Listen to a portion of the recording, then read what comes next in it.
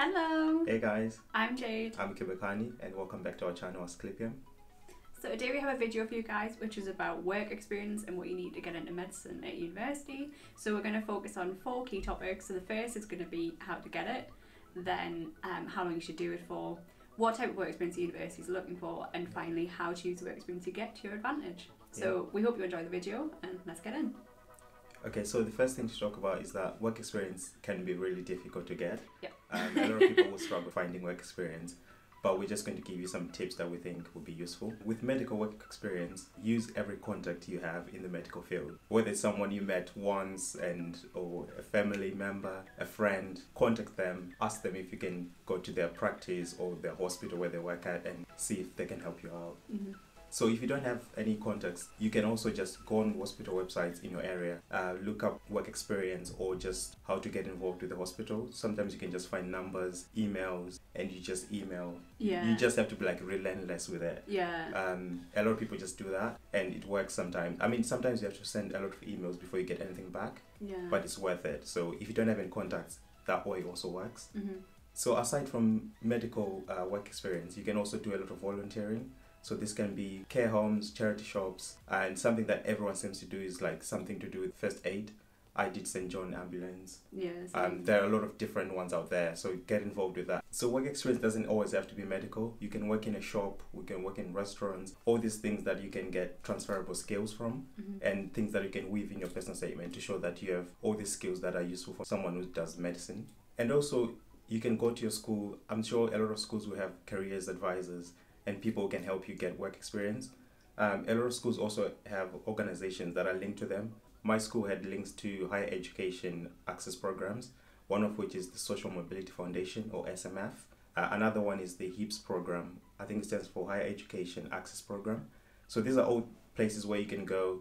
They'll give you mentors, who are either medical students or doctors, and they'll also help you get work experience. So that's something very useful you can get involved in from uh, when you get to sixth form. So another great resource is Medify. They can help you work, find work experience via the website. They now have a tab for work experience, so you just click on it and it will help you search for hospitals in your area. And a lot of the time, it just links you directly to the hospitals page and you can send your application. So that's another Yeah. great way to find work experience as well. Yeah, definitely. So we're going to have all the links to those resources in the description box below. hmm So the next thing to talk about is the duration of your work experience. So I think the most important thing to point out is that it's really not about a duration or about having X amount of hours of work experience.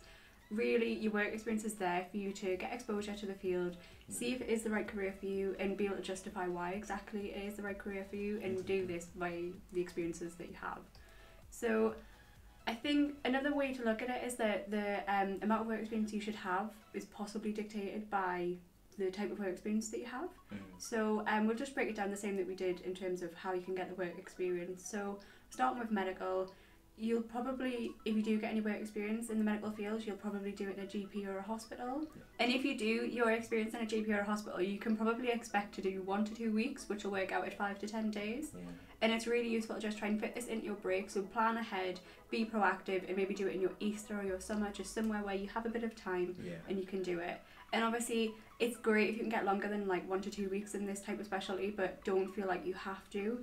And as well, obviously, if somewhere's only prepared to give you, say, five days or three days, Mm. take it. It Yeah. really doesn't matter because what you see in those three days could be more than what some people see in a month, depending on how much they're going. Yeah. So I'd say that's kind of advice for medical. In terms of volunteering, I'd say people possibly tend to do uh, a few hours each weekend, more than likely, is what I heard from people. So if you are volunteering in a care home at a weekend, you can probably expect to do a few hours each week. And you could do this for longer, so maybe a few months to a year, maybe, Yeah. if you're happy doing it. And obviously, because this type of work experience is in smaller doses, so you would spread it out, and it does look better if you've committed to it for longer. Yeah. And finally, for the non medical work experience, obviously do this as much as you're happy and as much as you have time for. This is a really invaluable way to kind of develop your skills further than beyond just medicine, which everyone needs. Yeah. and it's always great to have just general work experience on your CV. So mm-hmm. do this as much as you're happy, and in combination, if you're doing a bit of each of the three that we've described, obviously just do as much as you are able to do, and remember that you need your grades at the end of the day. Yeah. You should only be doing as much as you feel happy doing. And it shouldn't be at the detriment of anything else that you are Yeah. doing at the time. And yeah, so I think what we really just like to highlight again is that there's no minimum or maximum needed. Yeah. Obviously, everyone understands the difficulty there is in getting work experience. Yeah. But the main thing is that if you have work experience, use it to the, your advantage. It's not a case of you have to have a set number of hours. So don't stress about it too much. Just try your best to get some if you can. Yeah, Definitely. So, with regards to what universities are looking for in terms of work experience, I think it's mostly something that shows that you've gained insight into the medical field. Mm-hmm. So, studying medicine at university and also working as a doctor, because working as a doctor comes with a lot of challenges. So, if you do work experience and you recognize some of those challenges, and you find out that even with all of those challenges, you're still wanting to do medicine and you think your personality fits the career, then that's what they're looking for. Yeah. So anything you do that shows that you've researched the field and you know what you're talking about will look good on your personal statement. So next we're going to talk about how to use your work experience to your advantage, and this is possibly the most important factor of the work experience that you get. Obviously, throughout the application process, it's not about the quantity you have, it's about the quality and your ability to reflect on the experience you've had, gain insight into the specialty, and also just to show how your character suits the profession during studying for the degree and beyond that. Yeah. So um, we do recommend kind of utilising the work experience you have if you have any at each stage of the application process. And I'm just going to run you through how you can do this at each stage. Starting with your personal statement, uh, we do have a video of writing personal statements, which we have kind of put for applying Yeah. medicine. Um, so if you haven't seen that and you are interested, make sure to go and give it a watch. But just to reiterate what we discussed there is for your work experience, definitely mention it in your personal statement.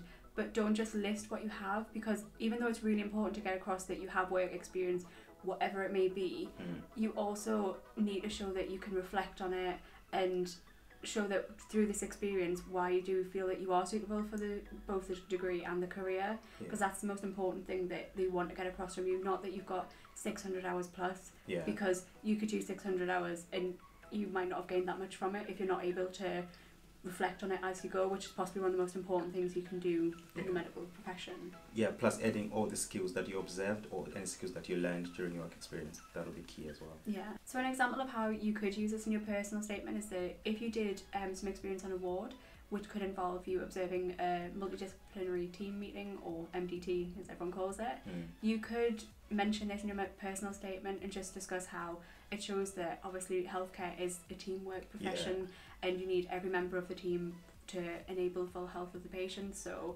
you could bring in, don't obviously just use that example, but I just mean that's the type of thing you can do that how you've seen something, but also how it impacted on you and helped you understand the requirements of being a doctor. Yeah, definitely. And similarly, when you go on an interview, it's really important to know the work experience you have Yeah. and to know what you wrote in your personal statement about it because work experience is a really popular question to come up Yeah. in an interview. So it's really important that A, obviously, if you've got the work experience, you should be able to talk about it, but B, that you know what you put in your personal statement. Yeah. So definitely use it then as well. If you do get the chance to go to interview, it is a chance for you to show off. Finally, another thing to say about work experience is that you're not just trying to tick a box on your application. Yeah. Work experience will see you through the application process, your degree, and beyond. And it really is just about you gaining more insight and developing as a person, and obviously just acquiring the skills needed as a doctor Mm. whether that's the patients you see, um, the teamwork dynamic you observe, just Yeah. everything, like it all helps you to become the best doctor you can be. Yeah. So this is why it's really important and why you shouldn't really emphasize the amount. It obviously is just about the quality. So Definitely. yeah. So now we're just going to tell you a bit about our work experiences and how we found them. Mm. So I had work experience at Chelsea and Westminster Hospital. I had that for two weeks, and I applied via the Social Mobility Foundation. They sort of like linked us to the hospital, and then we applied that way. I also worked in a GP. I found that through my mum's friend who's a nurse there. So I just asked her if there was work experience, and then she spoke to the manager, and I got that. I worked in a care home. I applied that myself. I just went on the website, and I sent a few emails, and I ran some people and they said they were happy for me to go in once every week. So I did that for quite a long while, I think almost a year. And I also did the St. John Ambulance um, First Aid, which I did for like two years. I started that when I was in year 12. Those were my work experience, and I really enjoyed all of them. And I would recommend them if you're interested. So for my work experience, it's a little bit different.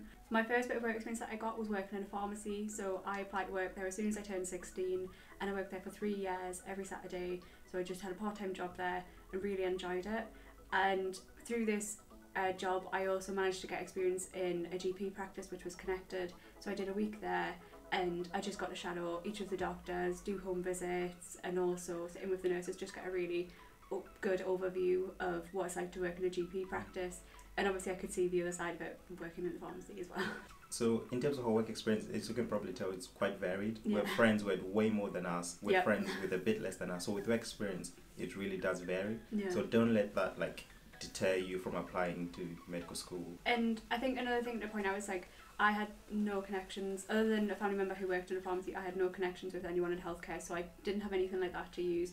I know a lot of people in my school were in the same position, so it really was just about trying to try anything and everything you could. And when I first got my job in the pharmacy, I wasn't set on doing medicine then, so obviously you never know what you're going to do. You might change your mind at any point. Do you know I mean in terms of what part of medicine you like? So don't be set on I want to do a particular area for Yeah. experience. And also just utilize the fact that you could make contacts, you could meet people who Yeah. will help you further on.